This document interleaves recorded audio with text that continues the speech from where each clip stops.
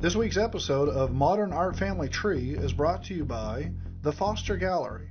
The Foster Gallery is a gallery in Worcester, Massachusetts, who specializes in paintings, drawings, and prints. Find them at www.thefostergallery.com.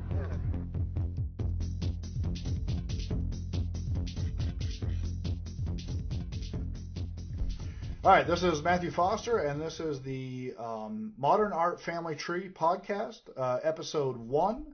And I'm joined by Dennis Hart, who will be here with me every week discussing uh, a half hour glimpse at famous artists who were involved in the modern painting movement. Um, and how you doing, Dennis?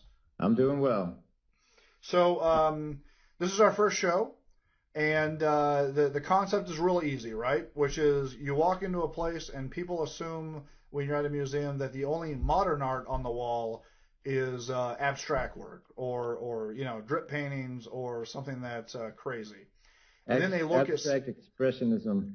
Yeah, and then they look at something that's a Monet, you know, an impressionist painting, and they go, well, no, that's not modern. And as a painter, you sit there and go, uh, yeah, it is modern actually, you know.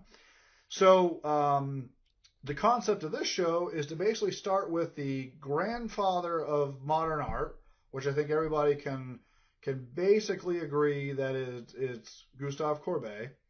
And from there, the idea of modern art spreads like wildfire and branches out into the very eclectic and, and interesting world that we have today of art, um, which is really, you know, past the modern scene, to be honest with you, for, for people that are art nerds um, has gone into postmodernism and multiculturalism and all these other things. But we will focus on basically starting from Courbet and highlighting a different noteworthy painter uh, chronologically moving forward. So um, so today let's let's start with Courbet, right? So you've got uh, you've got this painter. It's the early 1800s um, is when he's born, and he's and he's actively working and um, talk to me a little bit, Dennis, about like who came before him, who his influences were. Well, we talk. Uh, I would say a, a lot of uh, influence. there's two schools of thought prior to him, which kind of stems from the school of uh, Ingres, and, and then there was, of course, the school of Delacroix, and they're very, very separate, different uh, directions. Um, we could argue that that of more went. I would, I would, I guess this is maybe more my opinion, but I would more believe that he was uh, from the school of Delacroix. But there are other painters as well, like Gerome and Gericault, that were all either either around this time or before. Yeah, they were definitely um, either his contemporary or right before him. And I would agree with you is that to look at the way Courbet paints and stuff, Delacroix was probably a, a clear um, predecessor. So, so with that, and then you've got um, just just to belabor that point a little bit more, you've got uh, Gerome, who you mentioned, who what I I would view him as kind of the the mainstream painter of the time, um, like the academia fave type thing, um, which I think you know, and the main point that we're starting with Courbet is he kind of broke with that tradition um, and kind of was was part of the you know was part of the club, if you will, and then kind of radicalized himself, and that's kind of why we all point to him as hey, he was one of the first guys that popularized the idea of being a a lone gunman of the arts. You know what I mean? Of, of it being about him and stuff. Um, fair to say. That's fair to say, yeah. So, um, so should we go ahead and bring up one of his works? Let, us bring up um, um, the Stonebreakers, which is always a good one to start with because it's it's a his uh, early hit in the salons. And um, when you're looking at it, it's up on screen now. But when you're looking at it for a viewer from our world today, it doesn't seem like a very noteworthy painting. It doesn't seem all that you know radical. So um, at the time, why was this an important piece? I would say the biggest thing about it is at the time, you know, accepted art or the art that was that was shown was was mainly painted for royalty or for religious purposes, or at least, at the very least, for the wealthy, and it and it documented either you know a major event, uh, well, I think a major event or a portrait of somebody very important. Uh, there, there's that's probably not all, but that's mainly what you would see. And uh, this is kind of a, a painting of, of lower class people doing, you know, work, you know, something that that wasn't ordinarily captured in painting. And and uh, there, there was definitely a, a feeling at the time that you were elevating, you know, um, the scum of the earth, if you will. I, I don't know if it was that rigid of, of a thought. Like I don't know if they thought of them as those lowly people or anything. Sure, sure. Well, sure. Why, why celebrate this? It's probably what what the, the especially the higher classes were thinking. Why do we want, you know, to to to honor this? I'm sure that was a thought that some of yeah. them had. Yeah, and, and uh, I would agree with that. Is that that is really the the academic clear breaking as to why this was uh, a starting point to to look at for for paintings. Um, and in the in the secessions of Courbet's, this was his first uh, salon submission kind of work that promoted the idea of the common person. And, and in all honesty, not even just common person. These were people in strict poverty. I mean, they were they were uh, you know the the the peasants.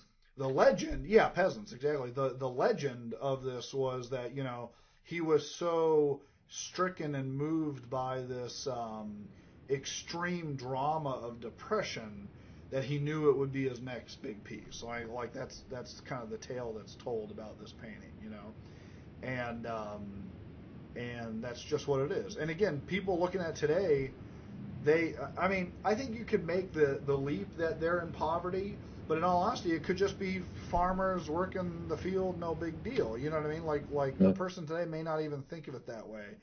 And at the time, uh, this was an obvious thing. Uh, and, and I'll remind anyone listening that, you know, this is the very, very, very beginning days of like photography and, um, and, you know, photography being able to capture a common thing with a, with a snapshot and things like that. I mean, making an image at the time was considered like, you know, this massive undertaking uh, for for someone to make a painting. So if you're going to spend the big money and have the materials and the workshop and the and all that stuff, what you were producing needed to be of, of a certain grandeur, or else it or else it was you know silly, right? It was a waste of your efforts. Um, and this was kind of like slapping that in the face, going, well, I still went through all that effort, and I'm promoting these people that are absolute nobodies. That's it's a good point to be made. Yeah, and and the, and the whole you know this is this is the the majority of society as opposed to royalty or or the wealthy who are probably just a smaller percentage. You know, he's sort of putting that out there like you know we we want to celebrate what we believe to be you know more important, but when you're talking straight numbers, this is this is the majority. You know, this yes. is what what people were yeah, this is the real man that's out there. Yeah. All right. Good. Well, um, from that, let's move to another groundbreaking painting for Courbet, which is the burial um, at Ornans, right? Mm-hmm. And um, this is a massive painting, and Courbet went back to his hometown of Ornans, and uh, the the big deal in this painting is that he he actually had, uh, well, all the people in the crowd are real people that are from his hometown. And uh, it's an event that would normally not be. I, I, guess a funeral of like an emperor or something would be documented this way, but uh, but the person being buried is uh, suspectively a nobody, right? I believe it was his uncle or something like oh, that. Oh, really? I didn't know yeah. that. It was Courbet's mm-hmm. uncle. I believe so. I didn't realize that. So, so, oh, well, that's even more interesting now that you say that because so it has a personal interest to Courbet, but not really to the average viewer. Right, right. That's possible. Which, I don't, I don't know who his uncle was. If his uncle was some very well-known person in the town, or I, I don't know anything about his uncle, but, uh, but for sure, it, it's a very important uh, to him. Yeah. Well, that even that even deepens um, my feeling on on what I thought he was thinking, which was the you know that these are people that are meaningful to him, and if that if you know that point, which I didn't know before us just talking now, even even solidifies that more is that these are people that he knew, you know, and they You're were making important me- to him. You're making me wonder if I if I just had a dream and that came Yeah. into my because I don't know where that would have come from. Do you, do you normally dream about Courbet's uncle? Not normally. No. The- So- I'm pretty so sure you read it somewhere, right? We'll we'll we will fact check it on the website. There we go. That's, But, that's uh, the thing about the internet. We can check this as Yeah. we're talking. I like well, that. also this is why we call the network artsy fartsy, right? Is because it may not be the exact thing, but but at the same time we'll double check and let people know. But we don't we don't have PhDs in No. in Courbet, so if anybody thinks we're a reliable source, we're like the wiki. We're like Yeah, we're the wiki, of our yeah. history. We are a we are a video captured wiki. That's right. so so uh, but the but the general sense and the general importance of the painting remains the same with that fact whether it's true or not right is is that um, these were not kings or queens or or the pope or a uh, very rich uh, patron these were normal people in his town and um, even beyond that, they were not models pretending to be the normal people. These were the actual normal people that he would invite into his studio and ask them to sit, and he would actually paint them into the actual painting itself. Um, and at the time, today people go, well, that's what's the big deal about that? People do that all the time. At the time, that was not normal, unless you were just doing like a study, and this was way grandiose compared to a study. I mean, just scale alone. So, um, uh, your thoughts on that outside of the uncle thing? Um, no, that's all I got. All, all I got is his uncle. No, I'm kidding. Uh, uh, I would also like to add that you know he, he, the- efforts that he went through, you know, in terms of of, uh, of setting this up and getting people to pose for him, and I mean, it, it, is extraordinary what he what he did. I, you may have been sort of saying the same thing, but um, all this for, as you were saying, you know, uh, an an everyday average person's funeral, you know, it's unheard of at the time. Yeah, yeah, and and and you're right. I mean, the the painting has a a um, dynamic and and you know large scale structure, and and the the number of people is very Rembrandtish. You know what I mean? It has it has that feeling of this large group, and and there's all this coordination and style. You know, the, there's a lot of work that goes into that. So I would agree. It's not him studying his mom, and it was just a quick study, and he was just getting practice, and people kept it years later. This was obviously a well calculated, well uh, executed effort of just common people. Uh, I, I have uh, a fact check update for you here. Uh, I, was in fact slightly wrong. It's not his uncle; it's his granduncle, which Oh. I, I guess means it's his grandparents, one of his grandparents' brother. Yeah. Um, so close. Okay. But but still a relative. I mean, you know, uh, it's, uh, yeah. So so it uh, the the punch home of it being a personal uh, interest is still there. You know. So and Mhm. again, at this time, people didn't make make paintings for that for that reason ever. Um, Right. it was always a funded event that was um, you know patronage and all that stuff. And not a celebrated event either. You know, I mean, this is this is a depressing event, and uh, I, the fact that it's a, a collection of ordinary people, um, I think is is really important. Yeah, no, I agree. So, um, uh, from that, unless you had more about the, the funeral painting, but I mean, it, obviously a great painting, um, and and it was furthering the ideas of the Stonebreakers. So, for someone who's following along here, you had Stonebreakers, which was uh, uh, important, but scale and stuff was obviously smaller than this painting. This was the same kind of idea, but it made it more personal, and it and it grandiose, you know, grand made it much grander.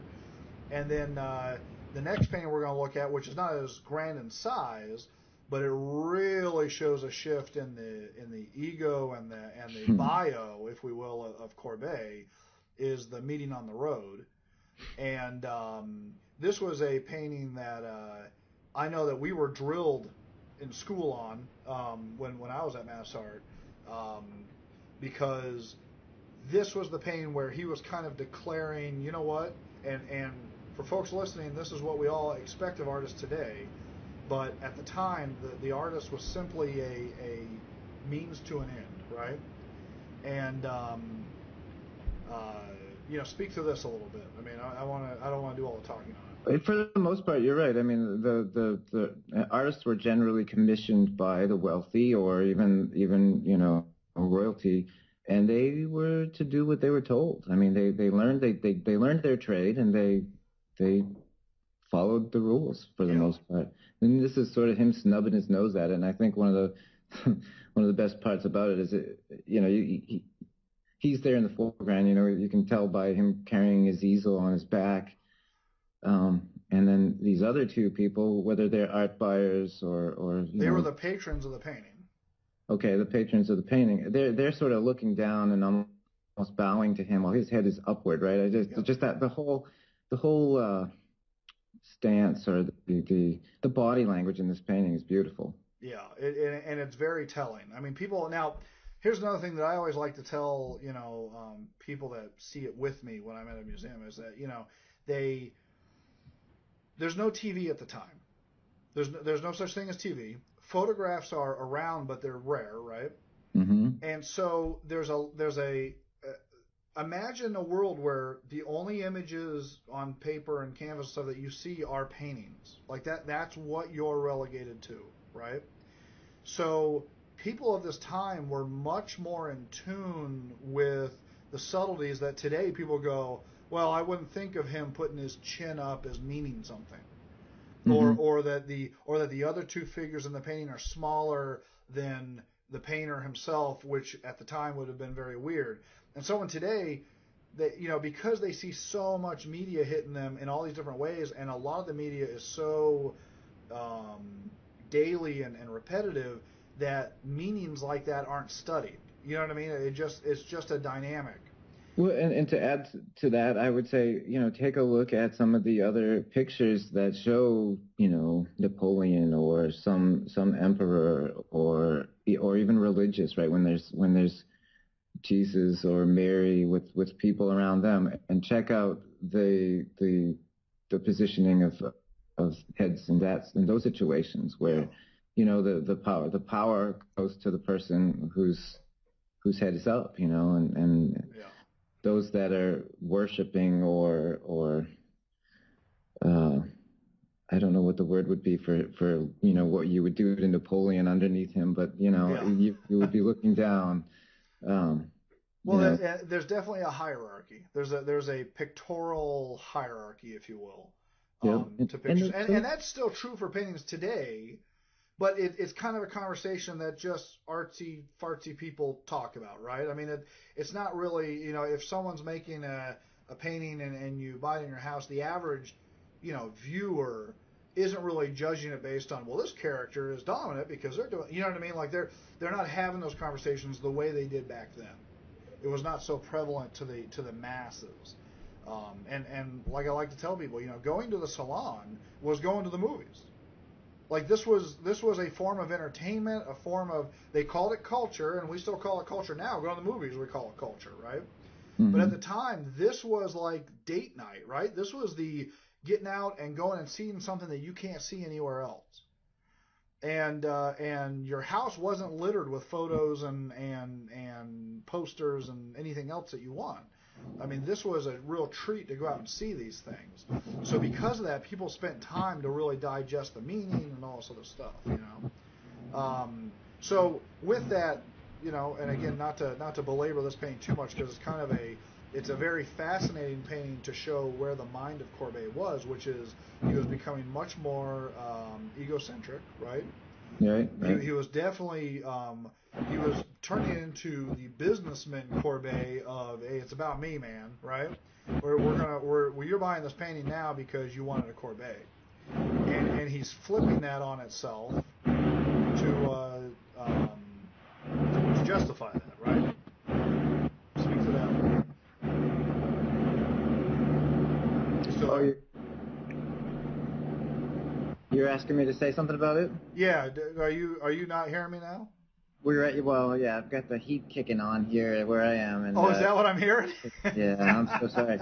Um, so yeah, yeah, I think everything you said is pretty true. This is this is one of the bi- biggest things to note about this is how it's like an obvious shift in him uh, uh, being bold enough to to illustrate or uh, you know show us his ego, which Yeah. is great. I mean, it's it's it's it's a it's a it's a growth in him. You know, it's a I, I'm I'm gonna stand here and tell you that artists are just as important as anybody. I mean, in a way, it's it sounds very egotistical, but on the other side, you could argue that he's he's trying to put a shift on on who's important all, all around, meaning we all are, you know. So so you could be saying he's trying to take away some of it from royalty and wealthy people Right. and just sort of distribute it to everybody, which I think is also an uh, you know. Well, and, and I think it speaks to the to the culture of the time where he was he was um, in a in a society that had such a tight control over over this whole creative process that he almost had to be overboard the other way to, to open people's eyes to it to, to break it apart. You know what I mean? That that he I mean he was a very very charismatic personality to begin with and and it was almost like the only fight they had against a locked-in system that would shuffle you away if you didn't fit the salon type. And and he really was part of that group of guys that just destroyed that whole way of thinking. I mean, the salon becomes incre- or decreasingly important after Courbet, in all honesty. I mean, I think that's a, a, definitely a, fair statement.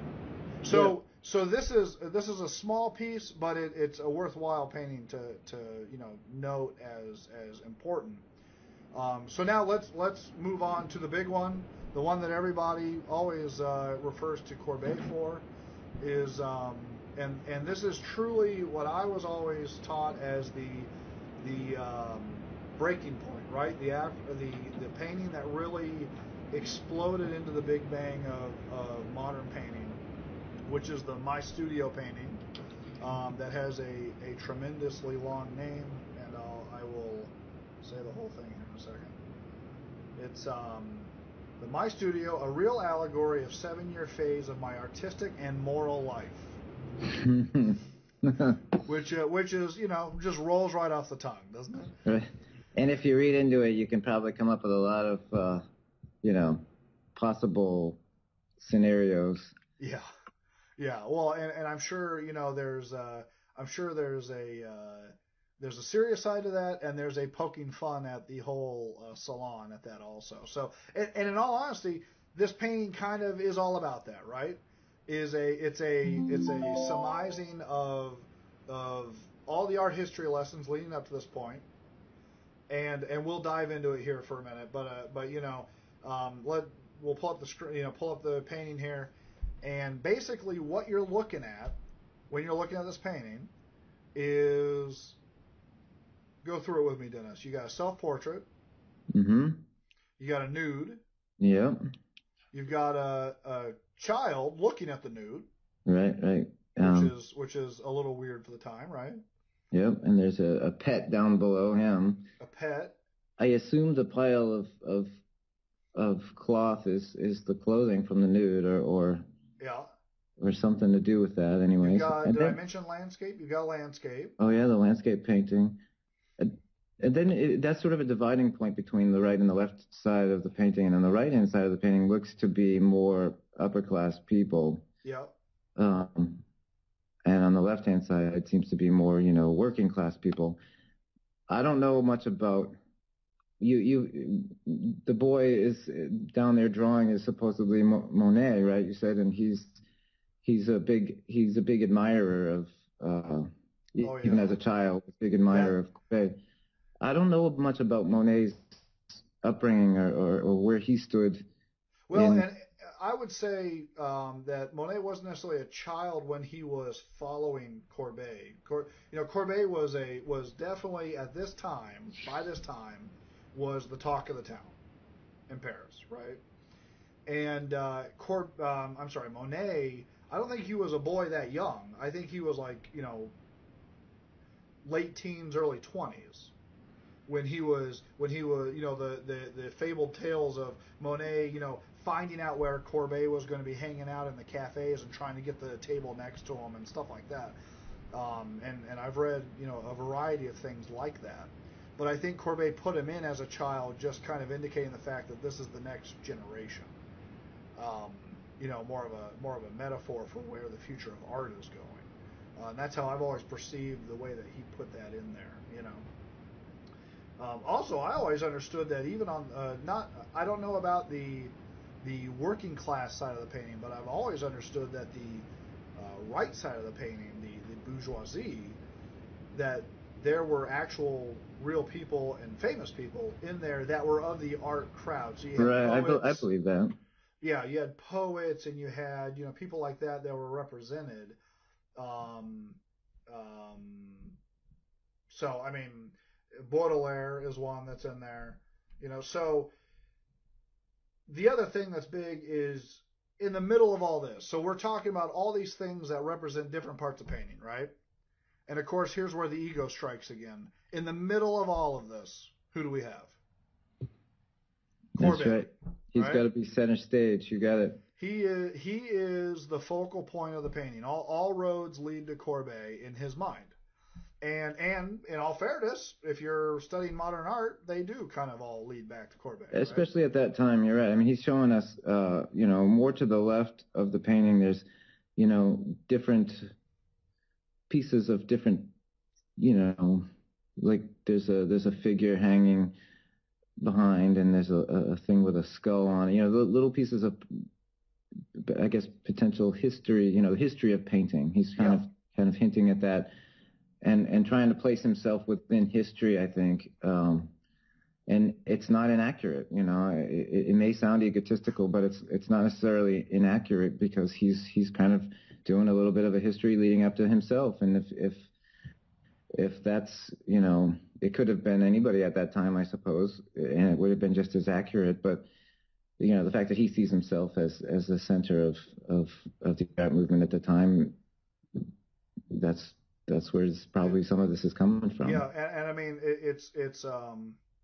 you're exactly right. Is that there's there's part of this that he could see it was leading to this because this isn't exactly like you know no one never heard of him at this point. He was definitely famous by this time, time, and he was definitely like in the crowd of cutting edge artists. But he's also being prophetic that that that would last. I mean, uh, I mean that's that's a big statement. That'd be that'd be you and I sitting there going, you know what? Everyone's going to follow me. Like like that is not something that most artists would put their life on the line to say. Well, most artists aren't real famous until they're long gone, you know. And and, and, he was one that was was lucky to to enjoy, uh, you know, fame in his lifetime. But it's not the typical life of an artist to have that. We, as we will see as we go through the modern art tree, right? I mean, right. the, the vast majority of them are scraping by, and then only in their either twilight years or or after they're gone is there any recognition for what they suffered through. You know. So so yeah, that's a that's a very good point. He is. Um, I don't want to say he's the last because obviously you've got artists past him that made big, big money and were very, very famous. Oh yeah, like Picasso and, oh, and. Oh yeah. Well, I mean Monet. Monet was very comfortable towards the end of his life, you know.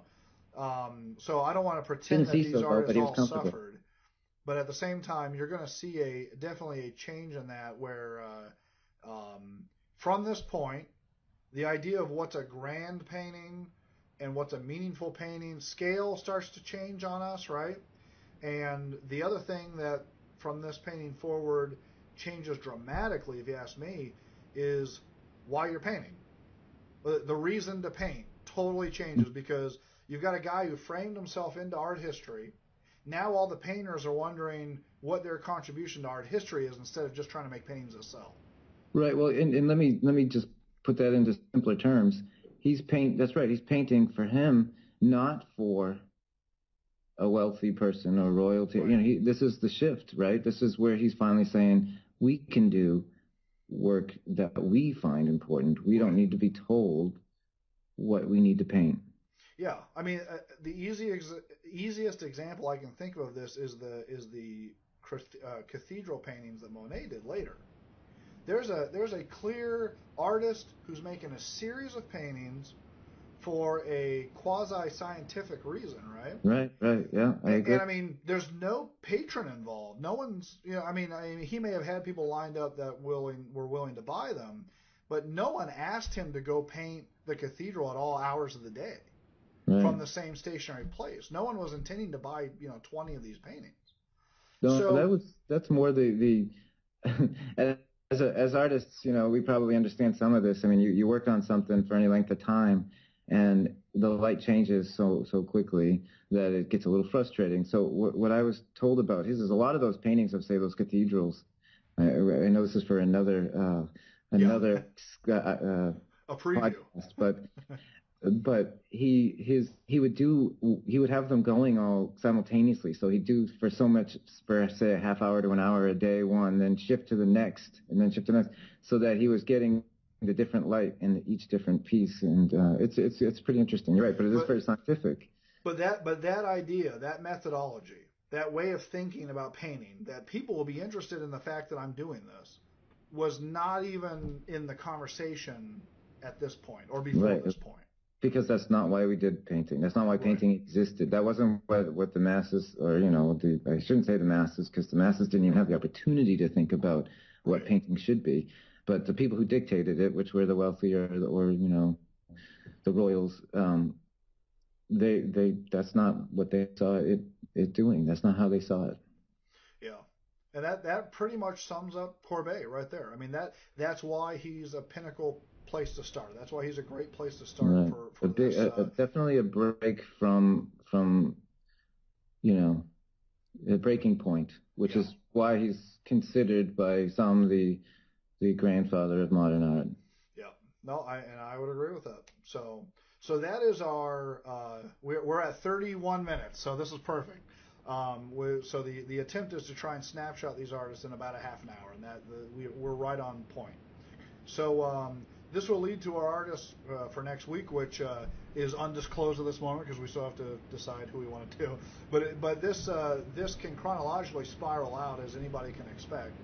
And um, so far, my interest in trying to link them through the shows is by stylistic approach, and then keeping it chronological at that point. So um, um, thank you, Dennis. I mean, this, I think this was a great first show, and uh, we'll be doing many, many more. You're very welcome. I look forward to to the rest of these as well. All right, great. Thanks. I'll talk.